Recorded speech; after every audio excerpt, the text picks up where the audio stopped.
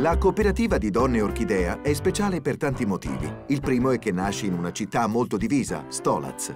Stolac è un comune della Federazione di Bosnia ed Erzegovina. In seguito agli accordi di Dayton, parte del territorio comunale è passato sotto il controllo della Repubblica Serba di Bosnia ed Erzegovina. Con la fine del conflitto, infatti, la Bosnia ed Erzegovina è stata sostanzialmente divisa in due unità, la Federazione di Bosnia ed Erzegovina da una parte e la Repubblica Serba di Bosnia ed Erzegovina dall'altra. Molte delle quasi 100 donne che vi lavorano durante la guerra sono state ferite e hanno subito violenze inenarrabili che hanno lasciato segni indelebili nel corpo e soprattutto nell'anima.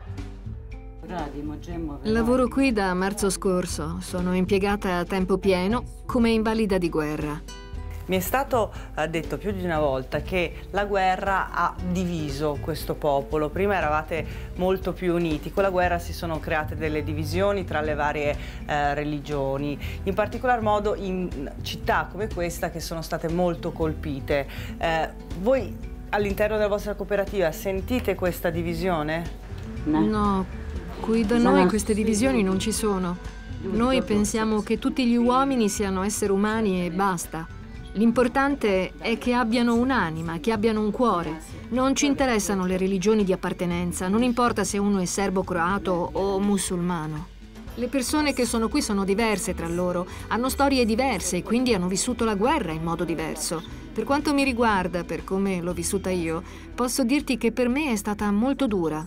Sono stata ferita, ho vissuto direttamente sulla mia pelle gli orrori che ci sono stati, per cui non è sempre facile per me. Però dobbiamo guardare avanti, dobbiamo riuscire a convivere e guardare insieme al futuro, perché l'uomo da solo non può stare. Sei sempre rimasta qui o durante la guerra sei andata via? Siamo stati cacciati via da Stolac, siamo andati a Mostar e siamo tornati qui quando la guerra è finita. A Mostar sono stata molto male. Quando mi hanno ferita sono stata ricoverata, sono passata da un ospedale all'altro, sono invalida al 90%, però vado avanti, lotto e sono contenta per come sto oggi, anche se sono invalida. Tu hai figli, nipoti? Ho due figlie sposate, un figlio e tre nipoti.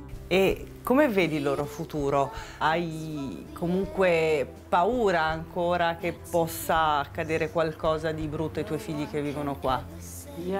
Io sono una persona positiva, guardo sempre al futuro come a una cosa bella e questo atteggiamento è la mia forza. Per cui anche se i miei ragazzi stanno ancora studiando o hanno finito l'università ma sono senza lavoro, sono sicura che prima o poi qualcosa di buono arriverà.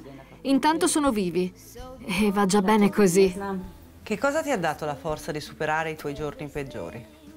I miei figli mi hanno dato la forza, proprio loro, perché per tutto il tempo io ho lottato per me, ma soprattutto per loro, perché non avessero dei momenti brutti come i miei, perché non succedessero loro le stesse cose, per cui è grazie a loro se sono ancora qui. Puoi dirmi se hai percepito un atteggiamento e una reazione diversa alla guerra tra donne e uomini? Purtroppo sì, io penso di sì. Io sono molto legata all'orchidea, so quello che pensano le donne qui, so come la pensiamo tutte noi in proposito, ma proprio per questo non posso darti una risposta. Non ho una risposta netta per questa domanda. E orchidea che cos'è per te? Per me orchidea è una salvezza. Vengo qui, lavoro, mi distraggo. È anche un supporto psicologico. C'è sempre gente, c'è sempre qualcuno che ci dà una mano. È il mio lavoro, è la salvezza. Hvala. Hvala vama. Grazie. Grazie.